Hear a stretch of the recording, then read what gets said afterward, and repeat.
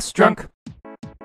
There are a myriad of reasons why certain Super Famicom games never leave Japan. Some maybe simply couldn't find a publisher stateside or elsewhere, but in a lot of cases, the original source material the game was based on was never made available outside of Japan. For instance, Ghost Sweeper Mikami started as a manga and was eventually adapted as a 45 episode anime, and it was pretty rare for stuff like this to get any exposure in the US at the time, other than what you might see at a place like Suncoast Video. Ghost Sweeper Mikami later received two video games, GS Mikami for the PC Engine and Ghost Sweeper Mikami Joreishi wa Nice Body for the Super Famicom. Your mileage can vary when it comes to licensed games, but thankfully this one was made by Natsume, who also made great games like Wild Guns, Ninja Warriors, and Pocky and Rocky. And no, I admit Ghost Sweeper Mikami doesn't measure up to those titles, but it's still a perfectly good action platformer in its own right, and it brilliantly captures the source material really well. There's seven total levels, each interspersed with a cutscene that tells the story of the title character, Reiko Mikami, who runs a poltergeist hunting agency. I should mention that no, you don't need to know Japanese to play through this one, and unfortunately,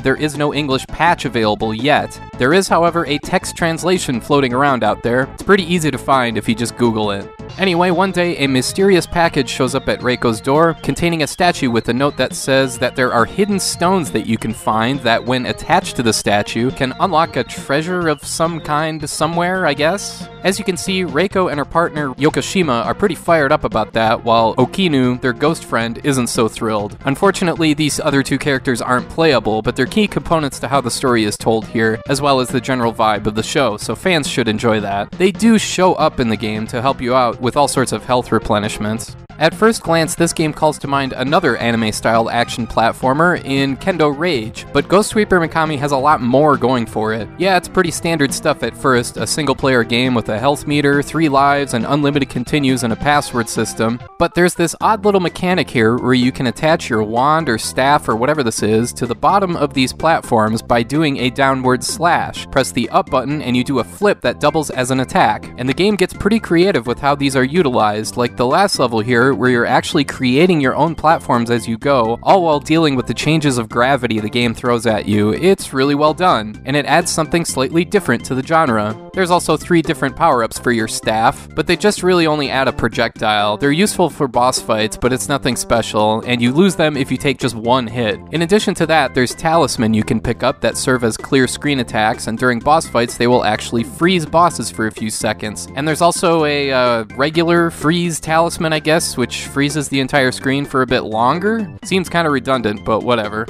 The level design overall is quality throughout the game. It keeps you on your toes not knowing what to expect next. One level you're riding on the back of a giant cat, the next you're zooming around on a broom, you're at an amusement park dealing with these weird slopes, and through it all there's this kind of unsettling horror vibe. For instance, right away you've got these zombies coming at you, and your initial attack only destroys their torso, their legs keep coming toward you. There's also whatever these things are, whatever this is, or these disembodied hands, or these weirdos peeking out from behind doors doors? Yeah, kind of weird.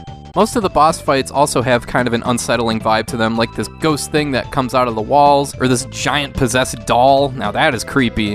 One thing to keep in mind is to always, and I mean always, hold up when you attack because it does kind of an upward slash, and not only does it have the most range of all of your attacks, it also deflects enemy projectiles back at them, so it's an extremely useful attack. And that brings me to this game's one big flaw the difficulty. There kind of isn't any. And don't get me wrong, that's fine. Not every game has to be Super Ghouls and Ghosts, but this game is a breeze to play through, and it's a pretty short game, which is both a good thing and kind of a disappointment in my eyes. I really like a lot of what this game has to offer, and there's just not enough of it, or not much of a challenge either, but whatever, oh well.